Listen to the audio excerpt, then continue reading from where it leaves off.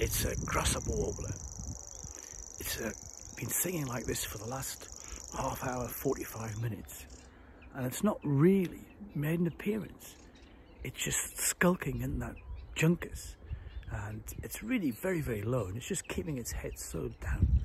It's just singing away, singing away. You might be able to hear a sedge warbler behind as well. And indeed a chiffchaff's been calling. But this bird's been calling almost continuously for the last wee while. And it hasn't made one jot of, a, of an appearance. And it's so frustrating, but it's so typical of the, of the species. And indeed of the family.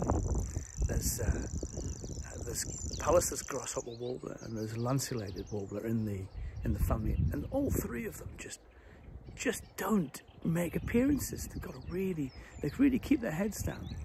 It's, it's incredibly frustrating, but my goodness, it's, it's exciting stuff. But it's a great bit of cover this, and uh, it's just a lovely little patch. But anyway, this is, this is grasshopper warbler. Wow. Isn't that fantastic? And it sounds just like a grasshopper. Hence its name. Anyway, folks, Gan Canny.